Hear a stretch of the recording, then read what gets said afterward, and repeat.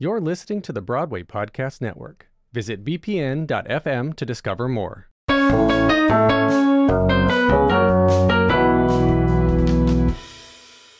Hello, I'm Jesse McAnally. And I am Andrew DeWolf. And I'm Liz Eston. And welcome to Musicals with Cheese, a podcast where I try to get Andrew and Liz to like musical theater. How are we all doing today? Oh, I got one thing to say. Six, more like sucks. What a great start. Ah, play the music. We're done. Thank you. That- All right, that's two- your one joke for the episode. We're done now. Yeah. Yeah, we're serious now. Yeah, now Um, we're, we're getting into it. man, uh, there we could have done bits. We could have been like, "No, I'm the best queen." No, I'm the no. We just sucks. I am not of that opinion. It was- but It was the laziest option, so we took it. That's the that's the cheese way. That's the musicals of cheese way. true. Um, in case you haven't the picked up, lowest hanging fruit. We we we pick that. in fact, we are that. we are that fit as people. We are three of the lowest hanging fruits out there. Mine hang pretty damn low. Mm-hmm. Mine don't hang as low. See, that was a low hanging fruit joke right there. I just Man, I wish my head would just come off after this conversation. We're talking about six. Jess, we're getting a divorce. I'm, and I'm gonna die, I guess. Uh, okay. Divorced. Beheaded. Died. divorced, beheaded, survived. And tonight, we are.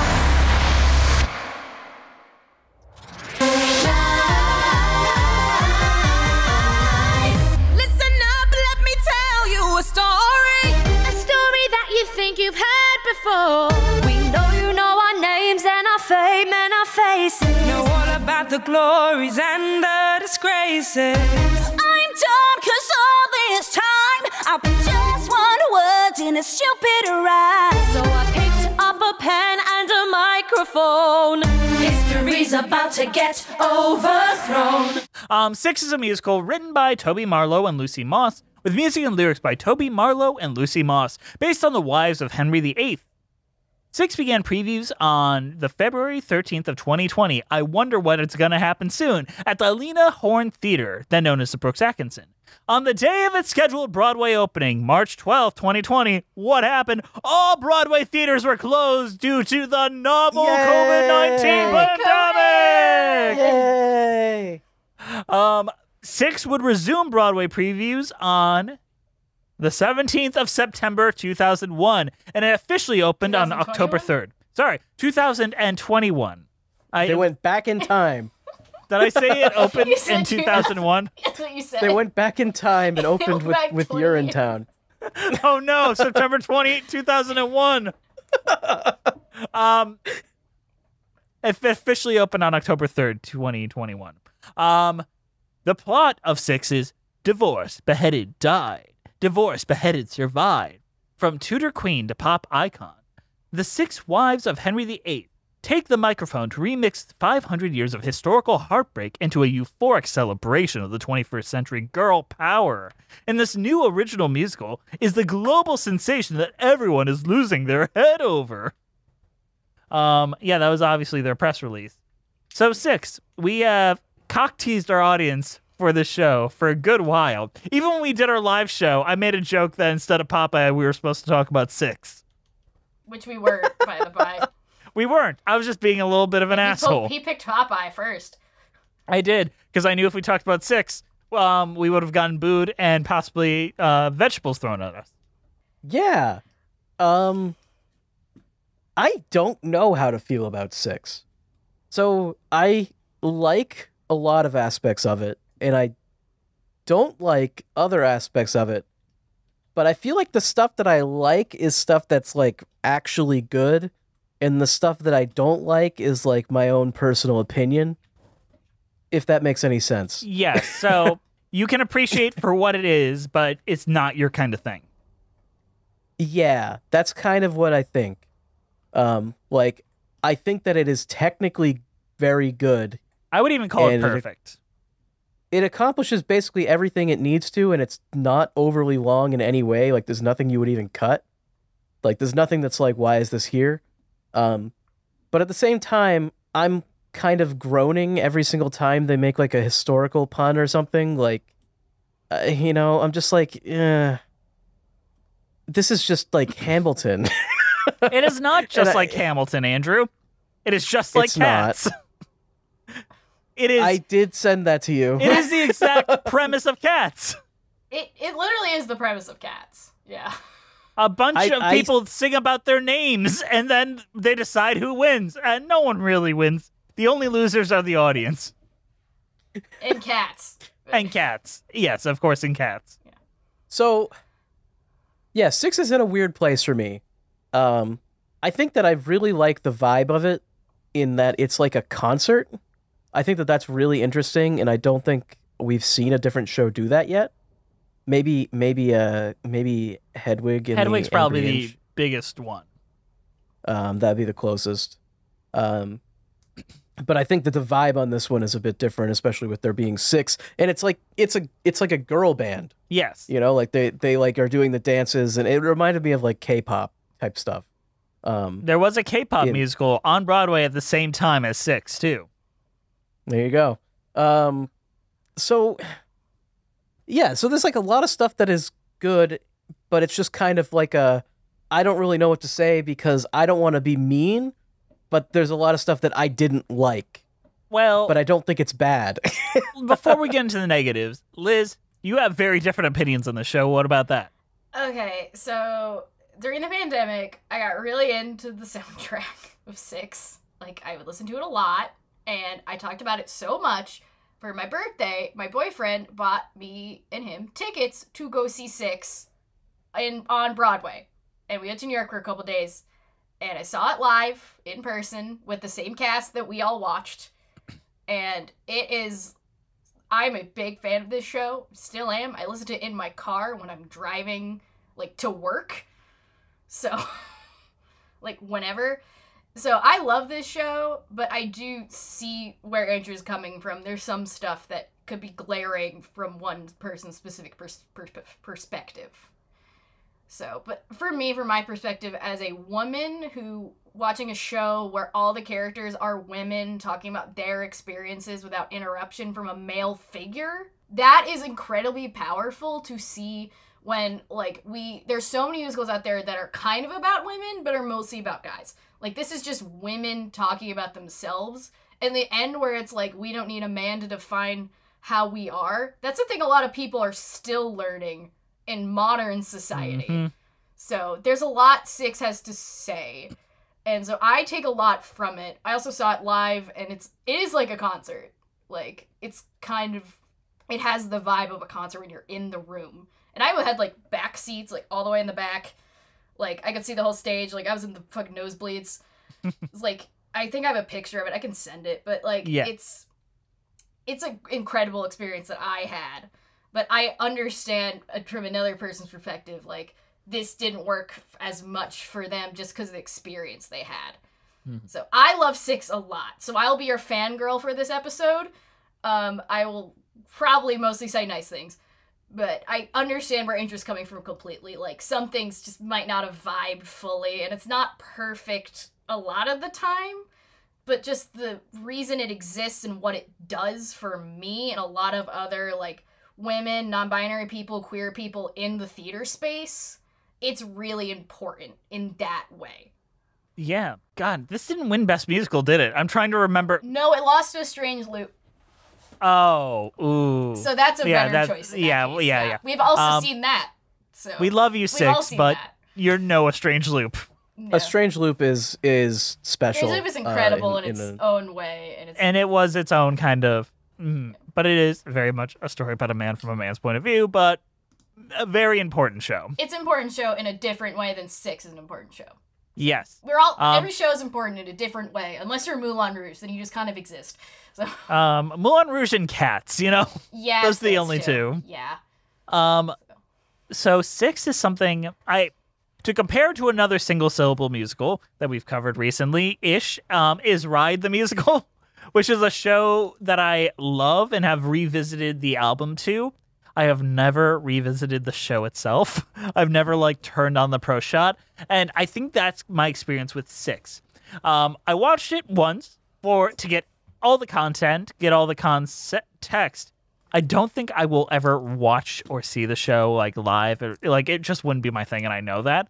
I will revisit the album, knowing the context I bring from the show itself, and it is a much more enjoyable experience ever since properly taking in this show. Um, sincerely, it does. If you've only listened to the album and not watching context, um, do yourself a favor and either go see it on stage or uh, yo ho yo ho all over the lo- slime tutorials on YouTube. Um, I do want to bring that up a little bit later, but um, there is a YouTube check video out. that's like the best moments of six, part one and two. So if you want to get Yes. the highlight reel of the stage show in a piratey way, in a compilation way, that's also exists. I think this is like one of those shows that's like piracy, anti-piracy, like in its existence. It's kind of like a Taylor Swift Eras tour, or avoiding uploading concert footage of Taylor Swift is not affecting people getting the Eras tour. Same way, I think the marketing department of Six is like, yeah, let the fucking bootleg be out there so people will know what we're about, and then more people will come to see us, which I think is part of its success.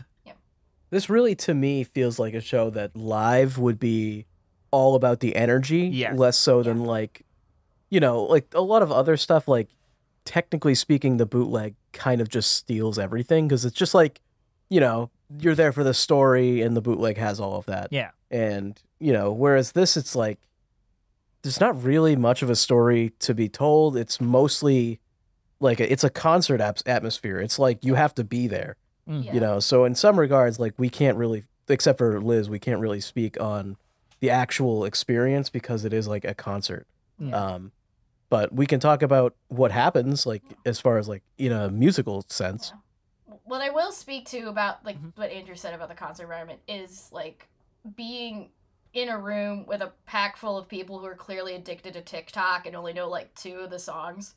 Um, it's it's like initially kind of like a weird energy. It's like initially I was I stood next to a teenager who wouldn't stop singing. Oh God, I'm so sorry. Uh, but eventually the crowd got loud enough that I couldn't hear them anymore. so it's like, okay, great. And then all the clapping kicked in. But like the energy of the room is so like electric because they, they bring you in constantly. They're like always like pointing around. It's like, okay, I'm here in the room and I'm with them. So like And does that you help your really experience? into it. Even on the sad songs, you're like there's like I sat like this, like the edge of my seat. I was like, I must engage in this very sad song like it's a incredible energy. So that's I will say about that in terms of the experience. For Jess, you wanted to say what you're gonna say.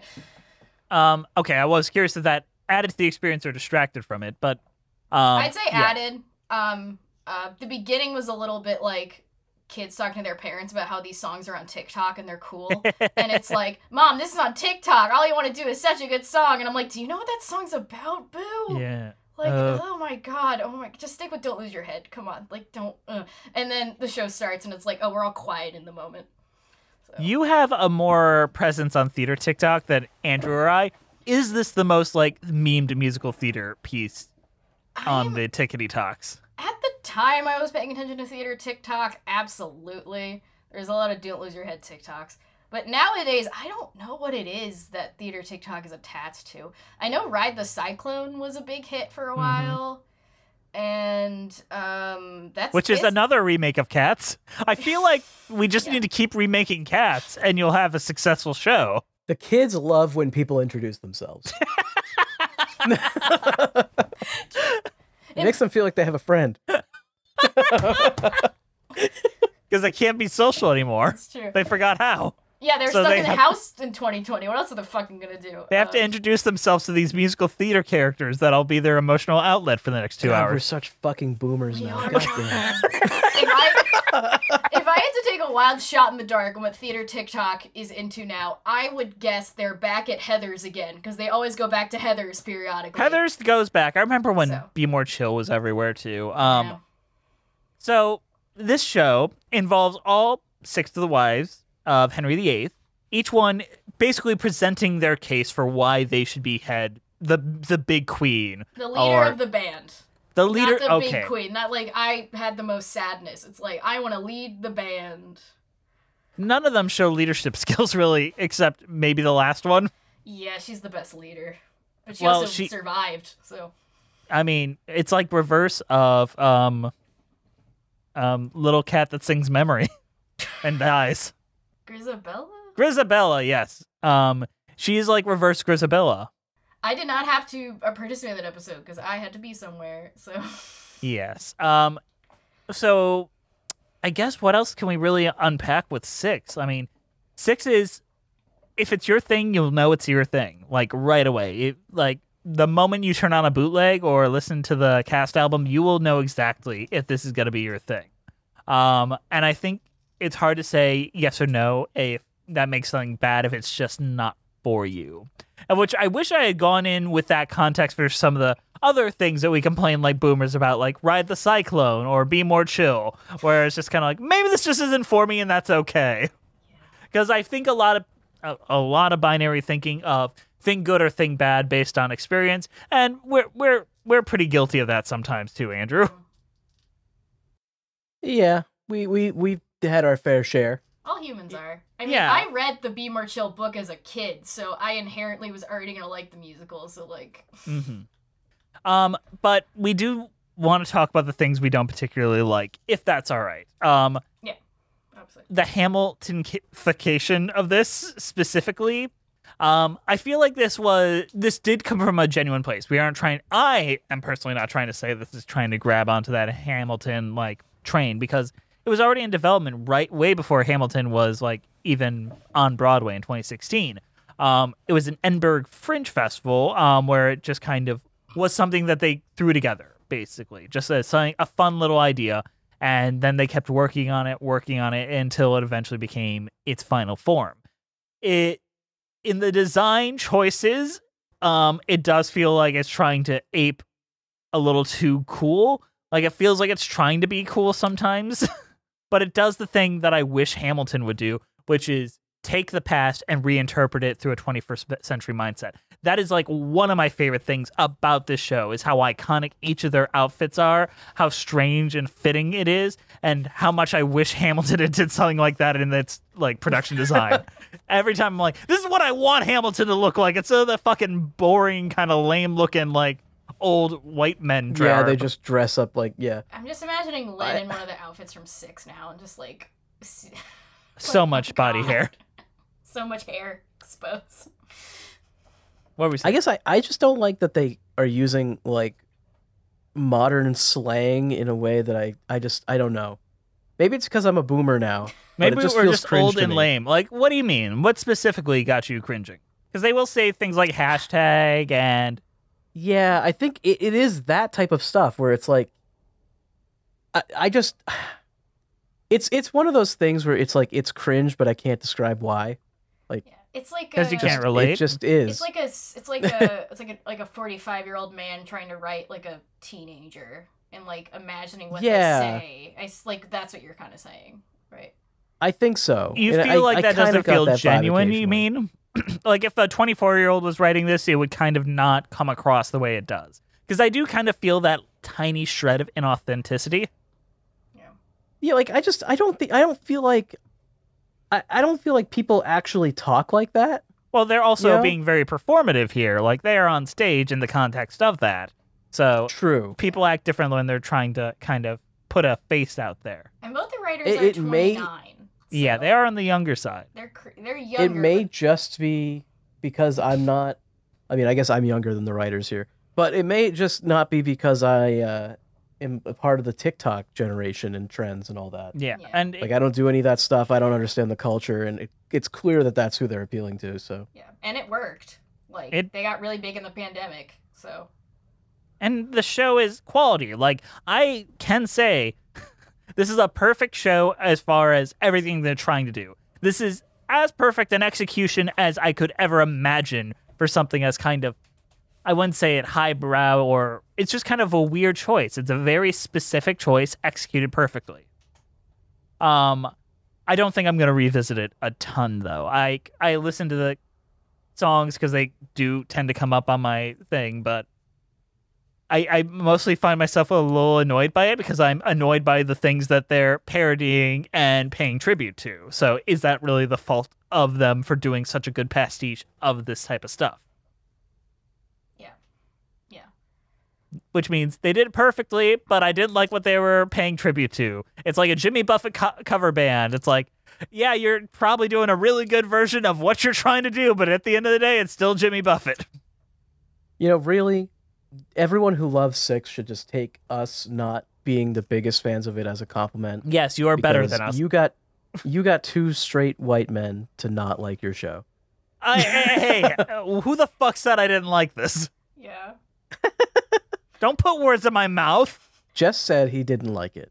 Um, but who cares what we think? How about we compare our opinions to that of the New York Times theater critic at the time, Jesse Green? It's time for previews. It's time for previews. Previews. It's time for previews. All right, Andrew, why don't you take a look at this review? Truncated. This is a very truncated, only pulled out the most interesting quotes version of this review, because I don't want anyone to think we just kind of are reading the full thing. Andrew, why don't you read this for us? All right, this is uh, the New York Times, Jesse Green, published on October 3rd of 2021. All right, are you an Elsa or an Anna? An Elphaba or a Glinda? Or, for those with more classic tastes, a, Ver- a Vera or a Mame? What a ridiculous way to open a review. And for reference, I'm a fucking Anna, okay? Like, come on. Yeah, I'm an Anna as well. What am Everyone I? Everyone is an Anna. So you're an I- Elsa. Well, you're an Elsa. You're You're, an an Elsa. Elsa. If You're you an have to ask if you're an Anna, can I be um, the weird Evan Rachel Wood girl from the second Frozen? I didn't see it, so sure. Uh, you can be the Duke of uh, Weselton. Weaselton. Yeah! okay, Andrew, an Elphaba or a Glinda? Andrew's an Elphaba. Come on. Uh, yeah, probably. I'm the sister in the wheelchair. Uh,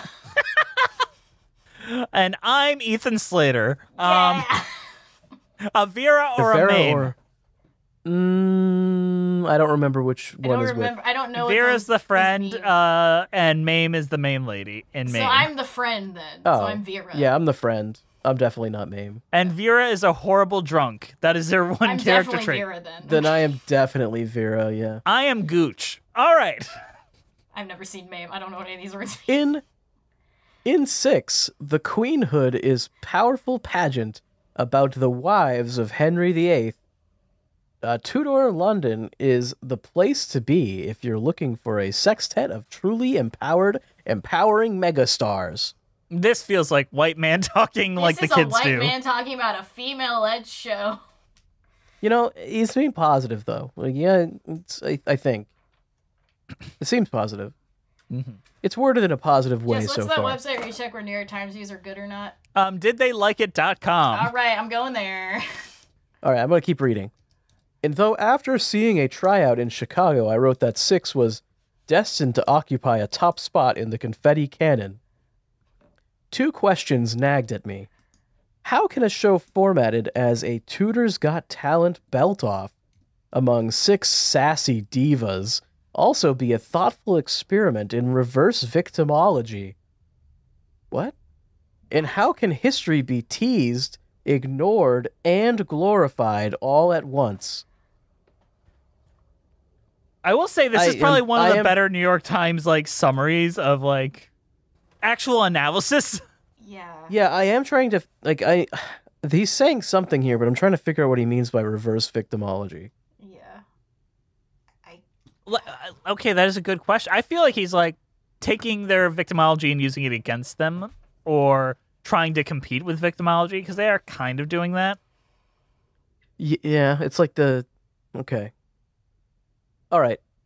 Yet somehow 6 by Toby Marlowe and Lucy Moss isn't a philosophically incoherent jumble. It's a rollicking, reverberant, uh, reverberant, pardon me, blast from the past. Though gleefully anachronistic, mixing 16th century marital politics with 21st century selfies and shade, it suggests a surprising, disturbing, and ultimately hopeful commonality, which shouldn't work, but does. I mean, that's I, I that's kind of the dichotomy I feel with it. Like this feels like it shouldn't work. This should feel cringe, but it kind of flows very well for me. Also, this man doesn't know what the word shade means. Some intern told him to put that there. I swear. I don't know. These New York Times critics, they got their hands on the pulse. Totally. Ben Brantley Ben knew Brantley was exactly. Ben with the Brantley. Kids. He left early because he wanted to start his TikTok career while he was Yes. still young. Well, no, it, actually, a skate park opened up down the street from his house, and he just didn't have time to go to Broadway anymore. I was too busy I was too busy. I was too busy on the rails. grinding I the don't know what rails. Skateboarding. Um, how about you just skip to the last bit, Andrew? Sure. That Six puts just such a rewritten history on stage is a great thing for a pop musical to do. Let's not quibble about its accuracy or the way it drops its contest framework cold just in time for the sing along finale. I mean, I think the dropping the contest framework is actually one of the better parts. That is of the arc. That makes it worth. yeah. That makes it an arc. That's not a that's the big moment. Like, can you imagine if if it was just like they just they sing six songs and then the audience like cheers which one they liked the best and then it ends. They get a little remote control. I know who'd win every Like- time. So, Who would win? Cat- Catherine Parr, the fifth one. Really? Yeah, I'm gonna vote for Anne Boleyn because she makes blowjob jokes, true. just like Miley Cyrus. I'd vote for the one whose baby died because she made me sad. Oh, because Oh, the yeah. one that died during childbirth. Yeah. Oh yeah, I also Her vote for baby never got to see her mother.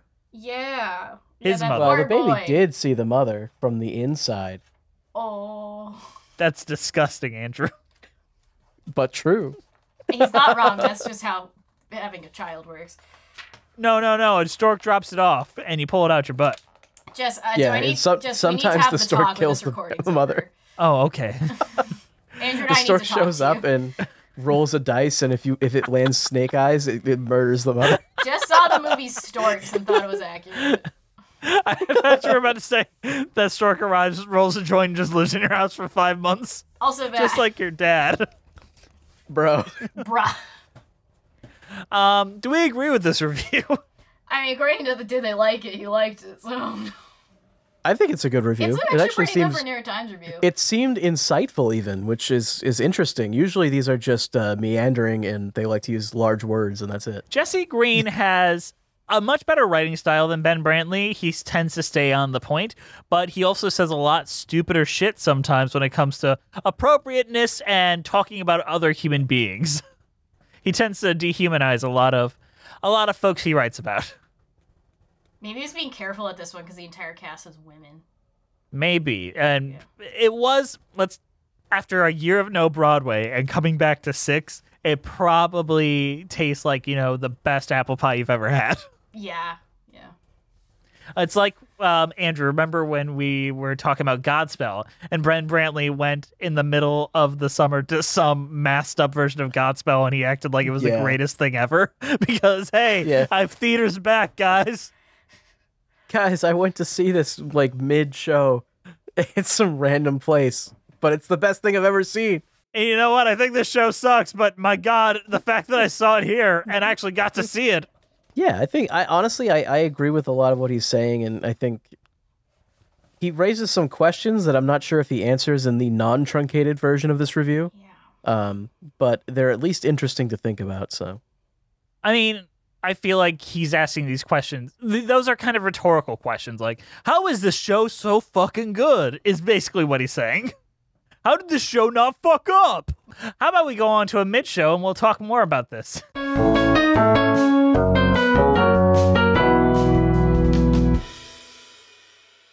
Hey guys, sorry to interrupt you in the middle of the show, but we've got a show to you. Today's show is brought to you by the extremely kind donations by our donors over at Patreon. And over at Patreon, you got tons of stuff, commentaries, bonus episodes, monthly hangouts with the three of us. Don't miss out on those. They're coming back for 2024.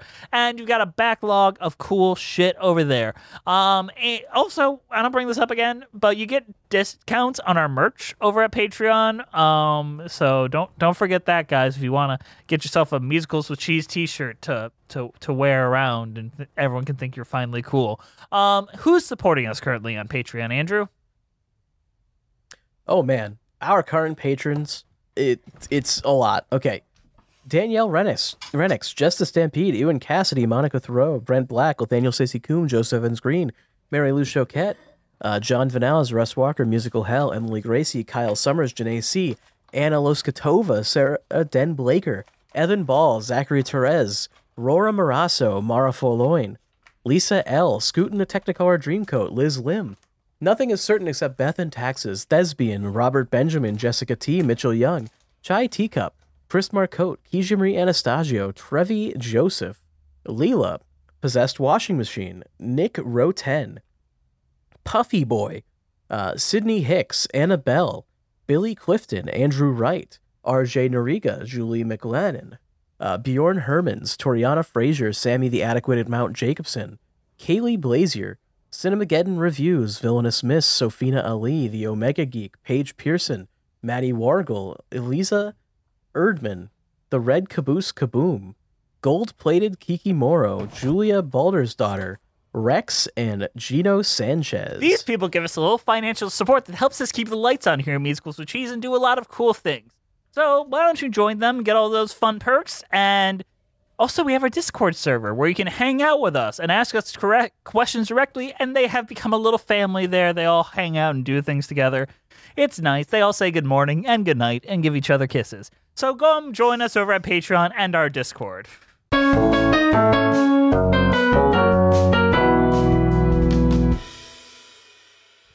let's talk about these songs and i feel like we can kind of go through all of them more or less because there's so i mean quickly obviously but talk a little bit about each of them. So ex-wives the opening number the one that takes the old rhyme and turns it into basically a thesis statement for the entire night. Divorced. Beheaded, survived. But just for you tonight, we're divorced, beheaded,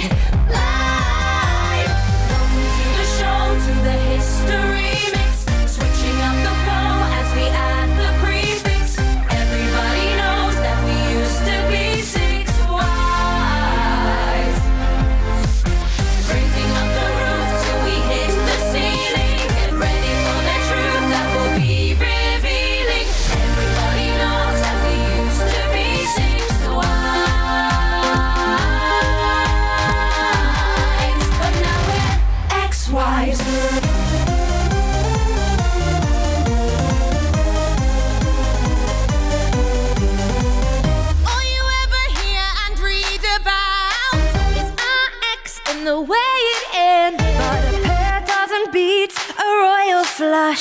You're gonna find out how we got unfriended. Tonight we're gonna do ourselves justice.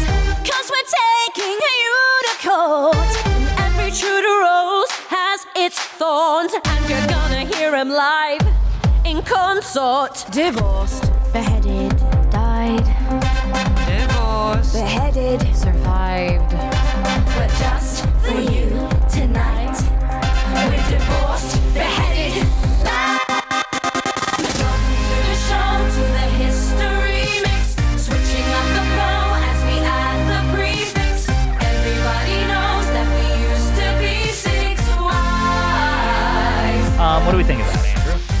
I think it's a it's a good way to open it up. Um, and obviously this is a, a very memorable number. I think this is the one we were trying to do earlier. Uh, yes Yeah, we, we And I, I fucked it up abysmally because there's only three of us. There's not six. you weren't us. just gonna do a circle you gave up on that as soon as we pitched it was was this a was this one of the TikTok hits? Um, no, no not No. so. It seems like it would have been because the listing thing Yeah, does that's tend what to I was up. thinking. Like this. Okay, it go have- ahead. Honestly, I watched a wedding dress TikTok a while ago that like had the this version this song in it, but that was like from like a month ago. So- Yeah, mostly it was just six related stuff. Um, it's very small, scant lines. L- Like this already feels too long. Like divorce, beheaded, like all that. Um, the only thing that I think is like divorced, beheaded live is the only one I remember being used as audio. Just that transition. But that's about it. Mhm. Um, I can only imagine how cool this is live when just to have everything click in and just have that power of their voices coming at you. I wish we had more of that. I know they tend to sing backup, but this is so pretty sounding. And I feel like we don't talk enough just how things blend and how perfectly it sounds. And I don't tend to be a big fan of handheld mics in my musicals. I find it very distracting in Spring Awakening when they just pull out the fucking hand mic for no reason. I love the fact that everything is done through the hand mic in this show. It works so great for me. It it helps with the concert vibe as well. Like uh they actually have physically have mics. And Liz, what do you think about X Wives? I really enjoy it. Um, it's a really good opener. Um, I don't go back to it as much as some like the individual songs, like per character, but I do enjoy it when I'm like doing a whole album listen. Mm-hmm. Um, but I, it's a really good opening number. Really sets the framework, and um, I think it's really impressive. Also, it does have somewhat of a following on TikTok, from what I can tell. Um, like the ex-wife song itself, but it's this also might be about a show called Ex-Wives, so I have no idea. I can't navigate TikTok on a computer. TikTok is garbage um, on a computer. it's terrible on a computer. So yeah. Um, but yeah, I really enjoy this song a lot. I think it does a really good job setting everything up and getting the character introductions and the dynamics going. So when you get into the show, it's like, okay, this melt makes sense. Well, let's move on to No Way. No way, there's no way. You must agree that, baby, and all the time I've been by your side. I've never lost control, no matter how many times I knew you lied. Have my golden rule, gotta keep my cool, yeah, baby. And even though you've had your fun running around with some pretty young thing, and even though you've had one son with someone who don't own a wedding ring, no matter what I heard, I didn't say a word. No, baby. I've put up with your sh- like every single day. But now it's time to sh- and listen when I say.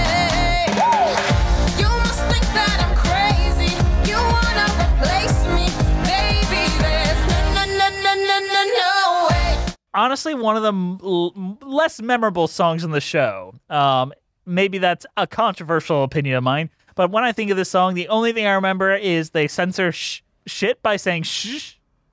And I was like, oh, That's a classic. That was like classic 2000s Very, radio, I feel like. I mean, Also, I mean, like shiitake mushroom. Like, oh yeah. yeah. I always remember like the it's my shh, it's my shh. Oh yeah, the Gwen Stefani. one. Um, but aside from that, um, who is that based on? Who is that musical style based around? this is uh, they they have Queen inspirations in the program, which is why I opened this page. up. Oh, Um, so she was inspired by Beyonce and Shakira. Shakira feels very out of pocket to me, but Beyonce makes sense. So I don't know. Shakira made sense, but Beyonce seemed confusing to me. yeah, Well, then maybe they nailed it. I don't know. All right. it's a good mix of both. Um, I I love her energy. I love the performance. This song just kind of washes over me. It does its job in the moment, but all I think about is shh. Yeah. Um, let's move on to the next song, and that is "Don't Lose Your Head," the Miley Cyrus, uh, Avril Lavigne song from Anne Boleyn's point of view. Well, it was Lily Allen and Avril Lavigne, so you were fifty percent correct. Ah, dang.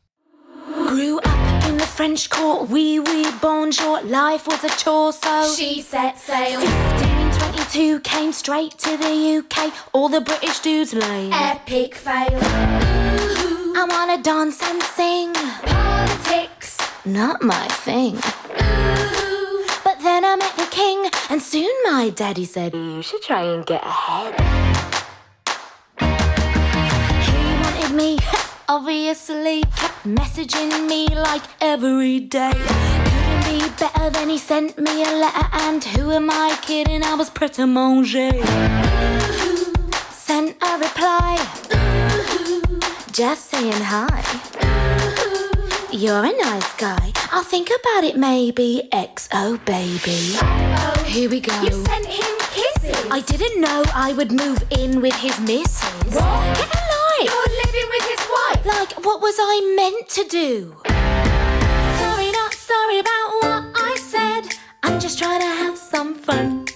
Don't worry, don't worry, don't lose your head. I didn't mean to hurt anyone. LOL, say oh well. to hell. I'm sorry, not sorry about what I said. Don't lose your head.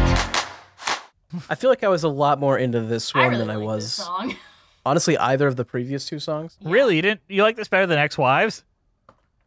I think so. I like that uh like sort of pop punk kind of feel it's going Yeah. for. I think No Way kind of serves as like this is how the concept works. So Yes. It's not the strongest song. So I think Don't Lose Your Head is when they really get into it, and that's when the pop punk. Also, I love pop punk as much like Andrew, so like, I dig it. Um, I like it. Um, I just find the character very annoying, and maybe that's just me. I feel like you're not supposed to like this character at all. no, But Yeah, that's the point. I, I feel they they were is this this is the one that there was like more famous than the others? I mean, I'm gonna be honest, I don't know any of these fucking people so she is at all. She is very famous because to get a divorce from the first wife, he had to leave the Catholic Church, start a new church, get divorced in the Church of England, which also helped him regain religious control of the country. So not fully Anne Boleyn being hot is the reason the Church of England exists. So like it's a little bit of both. I'm a history geek as well. Sorry about that. Uh, I'd say that she's probably the most famous of all the ex-wives. So the reason the. Church of England exists is partially he wanted to marry Anne Boleyn, and Catherine wouldn't let him have a divorce in the Catholic Church. So thus, new church, get a divorce, have new wife. So I he had new wife. and behead then the wife after he might have cheated. After she might have cheated. There's no proof of that. So yeah, I mean, that's Henry cheated. There is proof of that. Henry always cheated. Henry had bastards when he was married to Anne Boleyn. Yeah. but that's just that's just allowed though. Yeah, it's yeah, it's a lot. He's a man. Um, didn't Yeah, you watch can do what Damn. Yankees? Not Um, only is he a man, he's the king. Literally. I remember that part of The Lion King. Yeah. Where it's like Simba uh, had Nala uh, beheaded because, you know. Wait, She wait, wouldn't Nala be the first wife? Oh, no, he beheaded all of his wives. Simba's just a bastard. This is this is not connected. Um okay. I love it. Um I, I I do see the influences. I do see like the the girl influences. One thing I wanted to say earlier, but I think now's a good point. The songs are written in a way and the show is constructed in a way that anyone that takes on a role can just bring their own take to these songs. And I think that's so fascinating and so exciting, and why I think different casts will really make a different show entirely, depending on who they lean more towards in their interpretation. Um, I don't love the current Broadway interpretation. I prefer the UK interpretation a little more, which is a wholly different vibe as far as I'm concerned. Um, so I, once again, it's all depending on your taste, uh, and that's why this show's so fucking hard to talk about. Is sometimes it's just a taste thing. Um, let's move on to Heart of Stone. Um, Jane Seymour's really sad, really quiet white girl song, which I'm guessing I'm not looking up. Um, like a power Yes. ballady kind of Adele kind of vibe or Taylor Swift. Sia. Oh, Sia. Yikes. Yikes! Don't watch music, kids. Yeah, don't watch it. You can build me up, you can tear me down, you can try,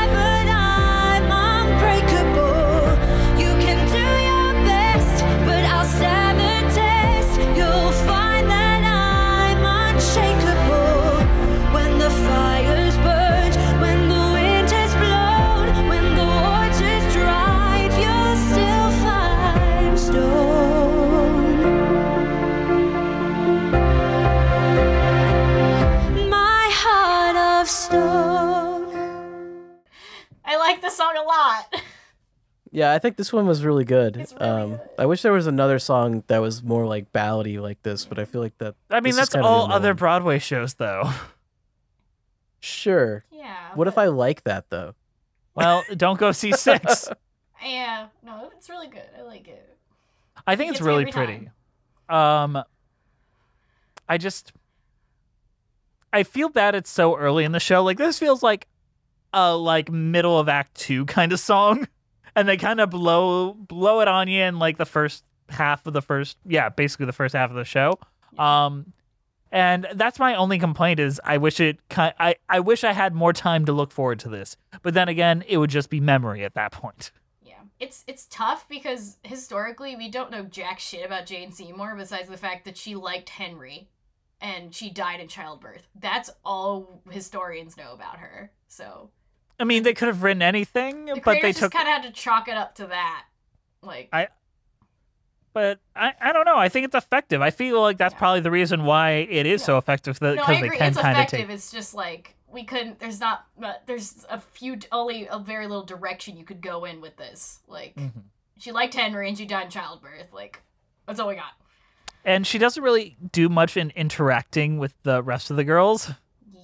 Yeah, even though Anne Boleyn was her, uh, she was her, she was Anne Boleyn's lady in waiting and Catherine Aragon's lady in waiting. Yeah, she doesn't interact much because there's a lot of arguing between the queens, and yeah, they barely interact. Well, she always like pops in to like just be like morally fucking annoying. Like She actually, I had it the worst because my my baby. My baby didn't know its mother. She, Yeah. I think she's kind of. It's a- it's weird because they gave her this really sad song, but whenever they're like any other scene, she's kind of the Like joke we don't character. care. Which maybe that's part of the reason why it's good that she comes so early because yeah, get it over with. then we never have to go down that way again. Yeah, it's Um, a really good song though. It is a great song. Um, probably the one that will get played on your your your MP3 players the most. It'll be your number one on Spotify's, whatever. Um, get down, let's go. Every day, head back for a round of croquet, cause I'm a player. And tomorrow, I'll hit replay. You, you said that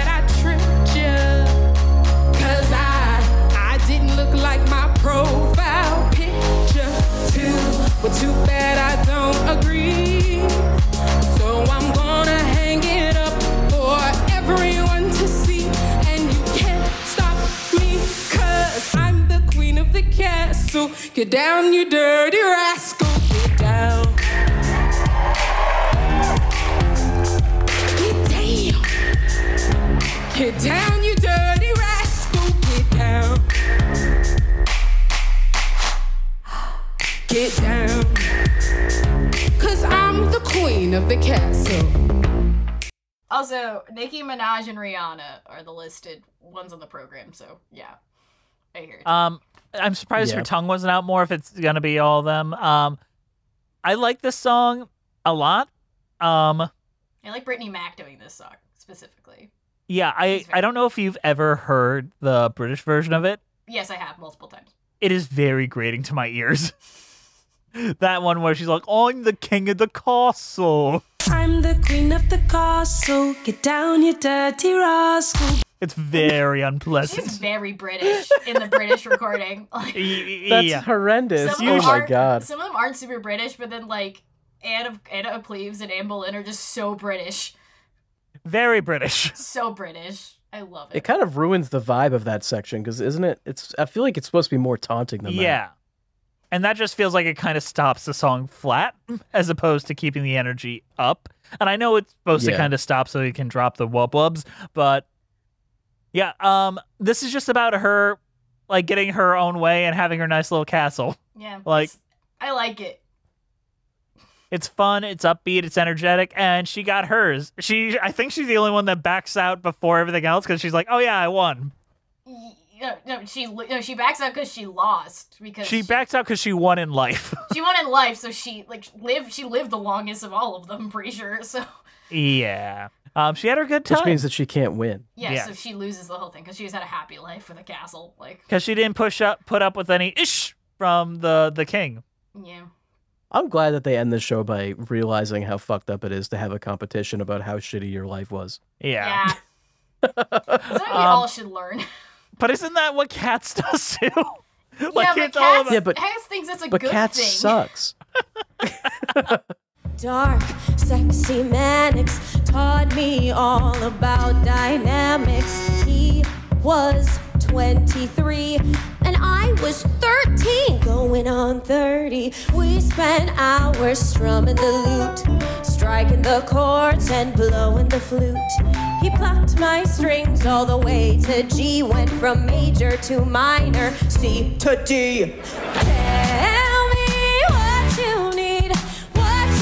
much you don't need to plead. Cause I feel the chemistry like I get you and you get me. And maybe this is it. He just cares so much, it feels legit. We have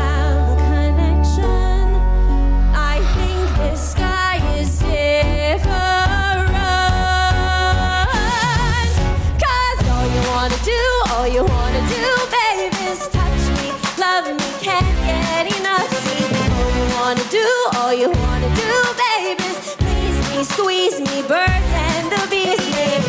Run your fingers through my hair, tell me I'm the fairest of the fair. Playtime's over. The only thing you wanna do is Um, all you wanna do, all you wanna do, babe. I mean, I Um, think you can figure out the Who is it, inspirations Jess? like real fast. So Um, Ariana Grande. yes, By and the the, hair. other one, I, I don't know, Andrew. Throw out the other one. I don't have it. I don't know any of these pop stars. Britney Spears. Britney Spears. I see Ariana mostly in just the hair because she has the that tight pony. is, is the dead giveaway. Um, I hate the character. I love this song, and this song made me feel different about the character without changing really much of the content. Like hearing this song and watching someone perform it are two very different experiences.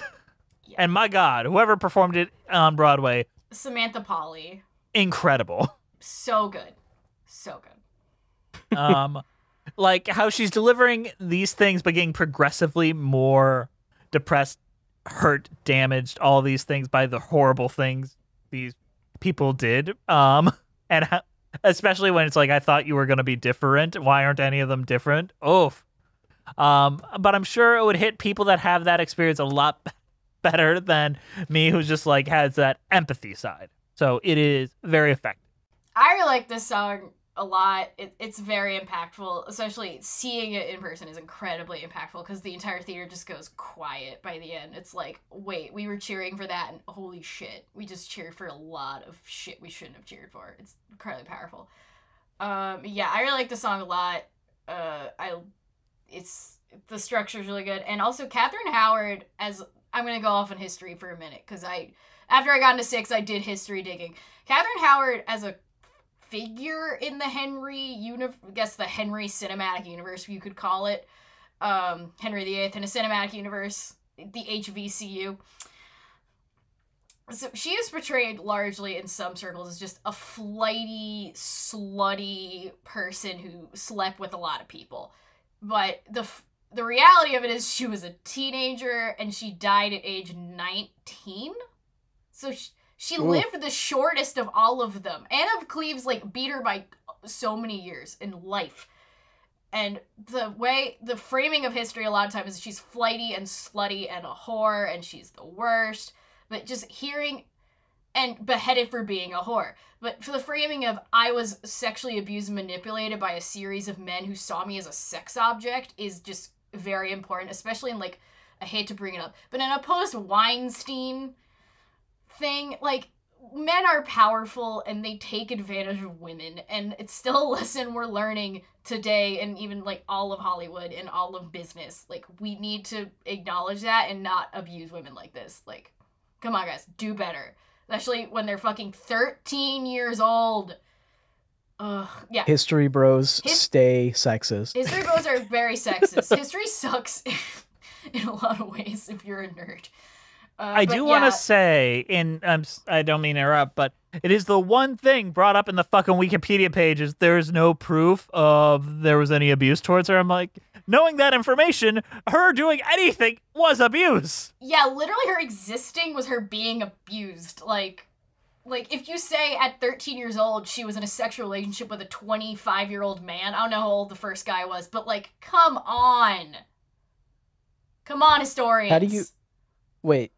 How do you say that someone who got beheaded didn't re- receive any abuse? The exa- th- this is the exact quote from Wikipedia, um, quoting the Tudor Times, which also looks like its own Wikipedia source, which is like, um, the show is based on historical figures with varying degrees of accuracy. For instance, it portrays Catherine Howard as a survivor of rape, which is debated amongst historians. Which, knowing the information you told me, um, she was a child. I think it well, it is debated amongst historians because some historians Are fucking um, gross. are sexists who probably are like the age of consent should be eight or something. I mean, there are a lot of like right, very right winging YouTubers. Like, there's this one guy from a while ago I saw in like a commentary video. It was just like the women, the, the best time for them to have children is at age 12, and it's like, okay, I'm okay. gonna throw the fuck up. Hot damn, history sucks. Um, but you know what I would say to all those historians? I would say I don't need their love. Um, just like Catherine Parr said to a lot of people. I've got no choice. With the king, I stay alive. Never had a choice. Been a wife twice before just to survive. I don't have a choice. If Henry says it's you, then it's you. No matter how I feel,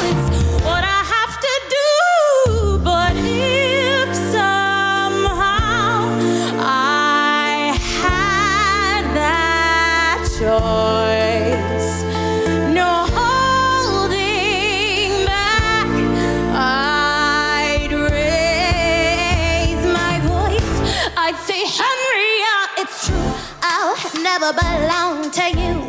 Cause I am not your toy to enjoy till there's something new. As if I'm gonna give up my boy, my work, my dreams to care for you. Darling, get a clue. There's nothing you can do. I don't need your love. No, no. No, I don't need your love. No, no. There's nothing left to discuss.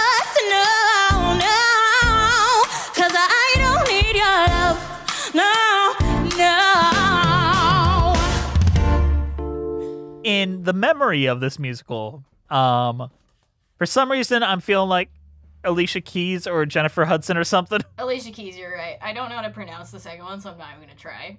Uh, She- one, I offend someone. So, Yeah. How's it spelled? uh, E M E L I, and the, so it, it's Sunday. I think I got that last name. I never heard of this person. She's named after an ice cream sundae. E M E L I. Yeah, so Emily or something like that. Emily, Emile. Emily Sunday. I don't know. I never. It's heard not this. Emil. never Emily heard- Sunday. Is her like you know I can't pronounce these southern names. I don't Emily to- I Sunday? don't know how to read. I don't know how I'm doing. Um, back to sixth. This I- song I- is great. I love this song so much. Recontextualizes This- the entire show. I'm really glad they did this because if they went a different way, this could have been a much worse show. Yeah. So I will say, seeing this in person, like not having this not be in there, I would be much more annoyed leaving the theater. I'd be like, great, I didn't learn shit. But let's pretend, just for a second, I like pretending. that after this song plays, you were handed a remote and you got numbers one through six and you had to vote. Oh shit! All right, place your votes now. Cast Which your votes. Um, can I vote for Haus of Holbein and just cheat? nope, You can't cheat. all you have three to of vote us. for one of the six. Okay, if I was a person, if I was me in like November of last year, seeing this or two years ago, I guess, uh, two years ago, seeing this live, uh, I'd No, you have to vote on their criteria. Don't vote on who has the best song. Vote on who is the most tortured. who's the Oh. most tortured? I gotta play by their Um, rules. Yeah, you have to play by their rules. Yeah, Catherine Howard. Number five. Okay, That's where I'm voting. That's all you want to do. Andrew, what about you? Um. Hmm. We got got divorced, Yeah. beheaded, died in childbirth. Yeah, I feel like the one. It has to be one of the two beheadeds because that sounds awful. Um. So I'm definitely gonna go with number five as well. I also like how the beheaded actors were they both wear chokers. That was a really nice touch on the Yeah, that is costuming a great touch. Really and good it- touch on the I- costuming. I knew that going in, it helped me figure out who was who a little bit. Yeah. There's a lot of Catherines. Yeah, um, too many names. um, and I'm gonna skirt by by not answering. Um, Jess, you have to answer. Jess, you have to answer. Yeah, we both answered. So He doesn't want to answer because he's gonna say fucking Anna of he's Cleves gonna or say some Anna of shit. Cleves, yes.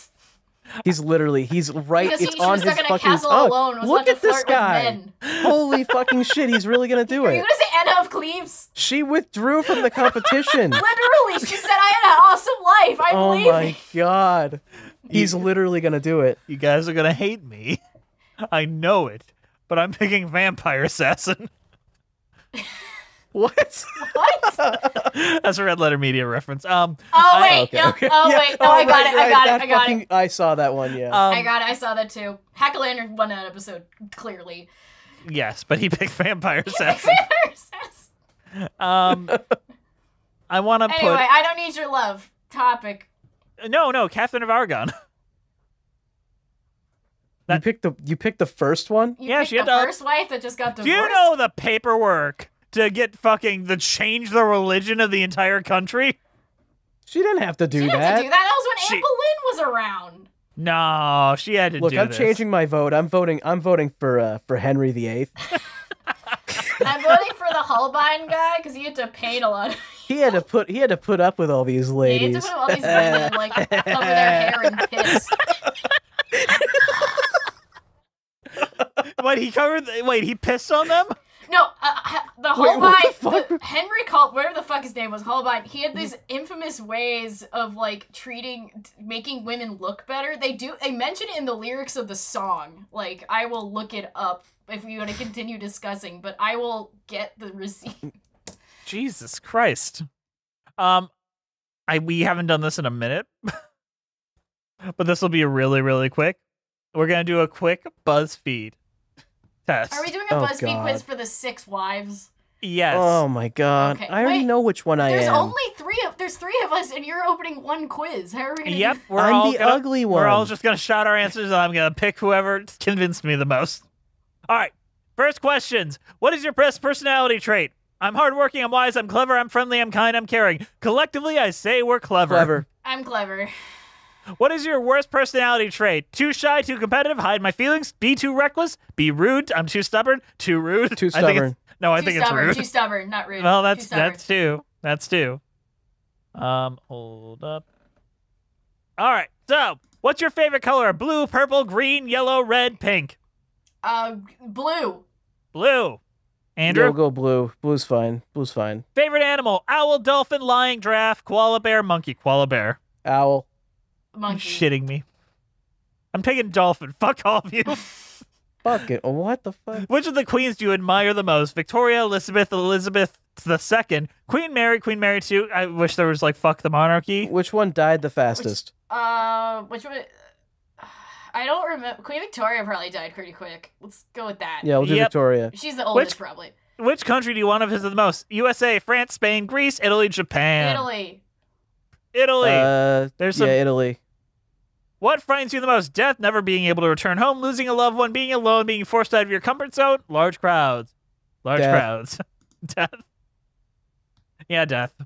Not Which even close. which would you choose to live, live in? Um, bunch of houses. Uh, big pool. Uh, the smallest, the small house. Bi- I'm going with Big Pool.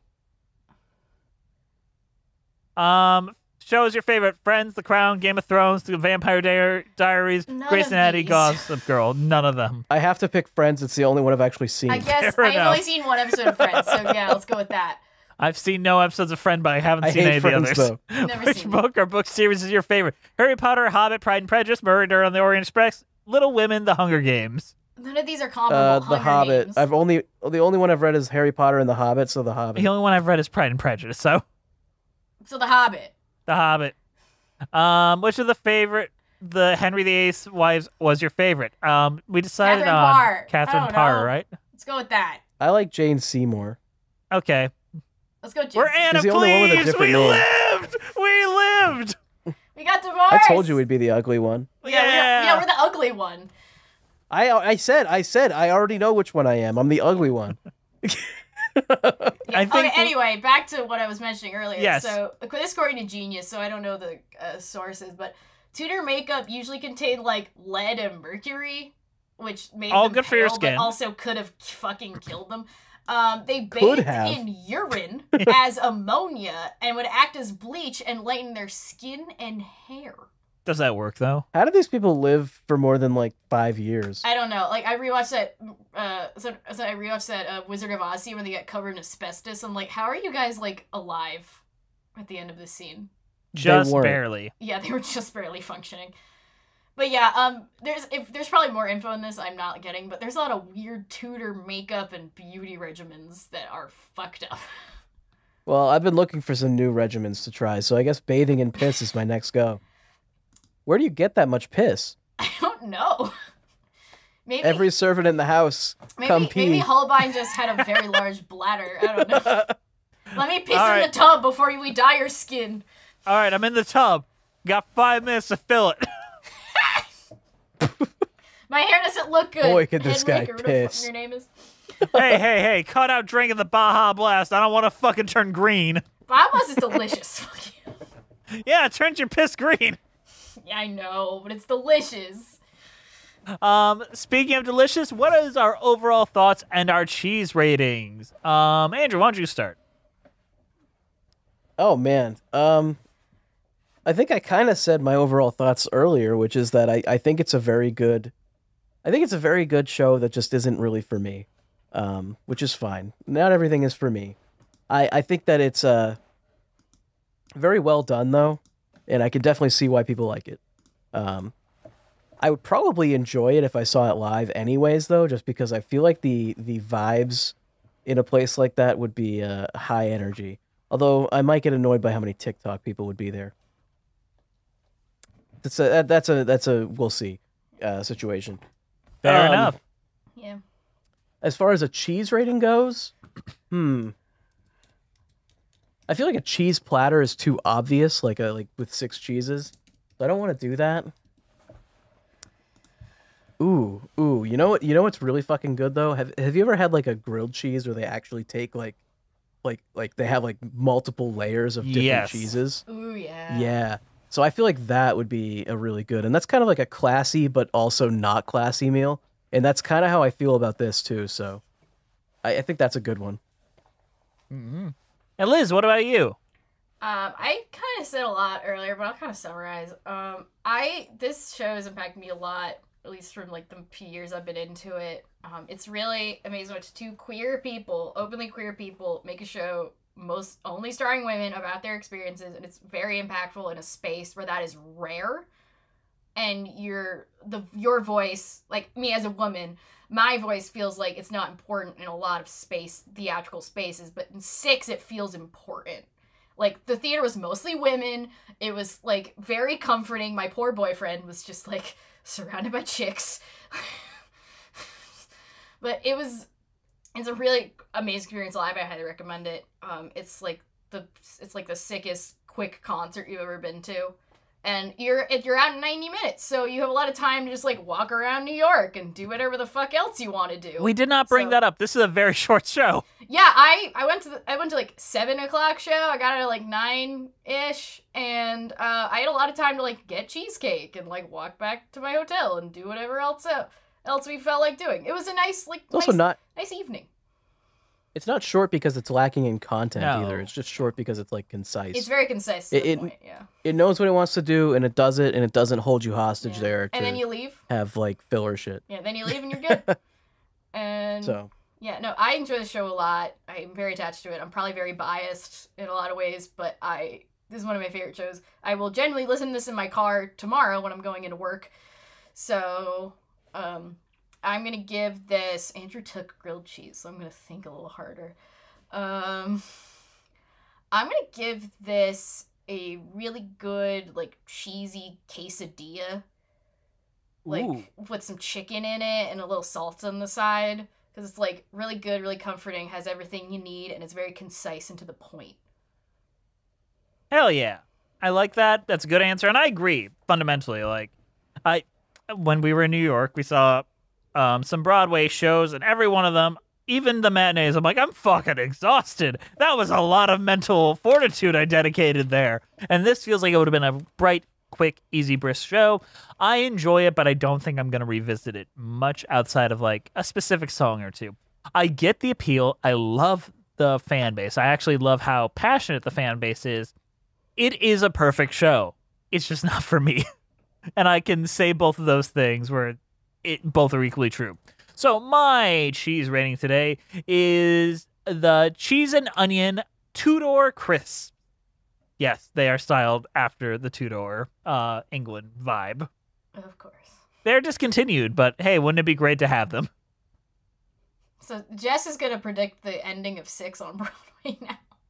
Yes, I am. Um, the the end. What what what like when you say the end, like it wrapping up? I mean, I meant like it closing. I'm just saying you're gonna make it close on Broadway for you picking a discontinued cheese. Oh, yes, yes. Um, It's like how we do this, indirectly predicted Sondheim's death that one time a few years. oh, that was such a bummer. I know, I- right? We also predicted Angela Lansbury's death, like, and I was like, oh, she's gonna live forever. She died the next fucking Died week. the next like week or so. Early I- Patreon I- with cheese is kind of cursed. Yeah, that was a weird year. Um, you know what else is weird? Our wonderful patrons. Thank you guys for listening. Please follow us on iTunes and Spotify at Musicals with Cheese. We're on Twitter at Cheesy Musicals, Patreon Musicals with Cheese, Instagram Musicals with Cheese.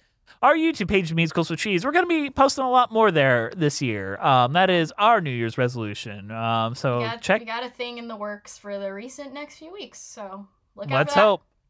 Um, Patreon only podcast, Patreon with cheese. Email us at musicaltheatrelives at gmail.com. Our keeper of the cheese is Juliet Antonio. This show is edited by Andrew DeWolf, and he does a fantabulous job. Our themes for previews were created by Robyn Nash of IOU Music UK. Thank you to the Broadway Podcast Network for having us on the platform and for not kicking us off for divorce, beheading our wives. Um, all right, anything else we have left to say?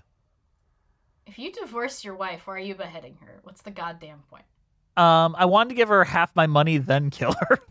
Ah, Wha- why did what you I have don't a prenup? understand.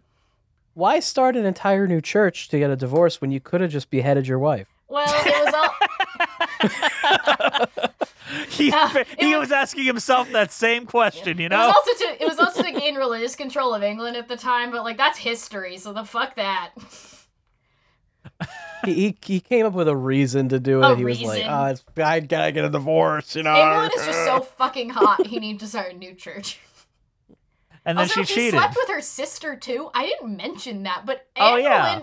And his Anne Boleyn's sister also slept with Henry. Like had an extended affair and she was played by Scarlett think he- Johansson, right? in that one Boleyn Do you think he movie, kept yes. her head?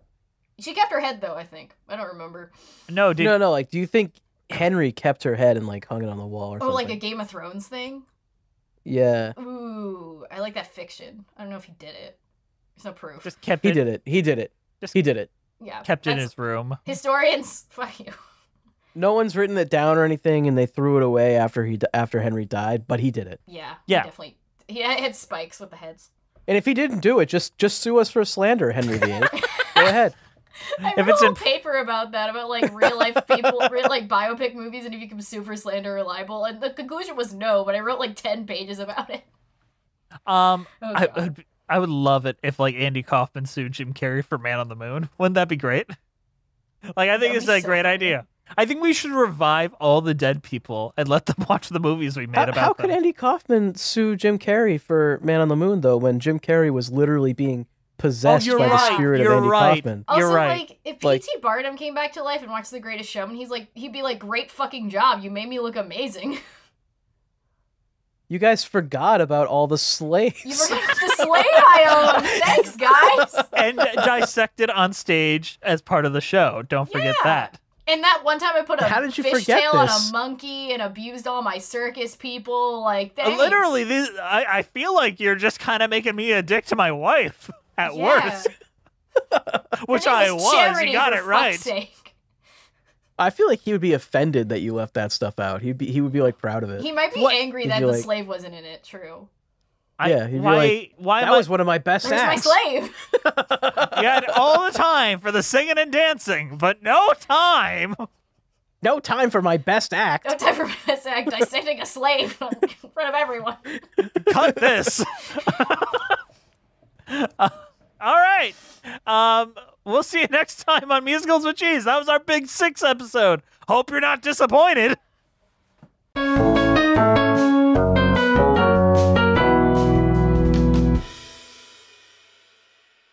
Cause all you wanna do, all you wanna do, baby, is touch me. When will enough be enough? See, all you wanna do, all you wanna do, baby, is squeeze me. Don't care if you don't please me. Bite my lip and pull my hair.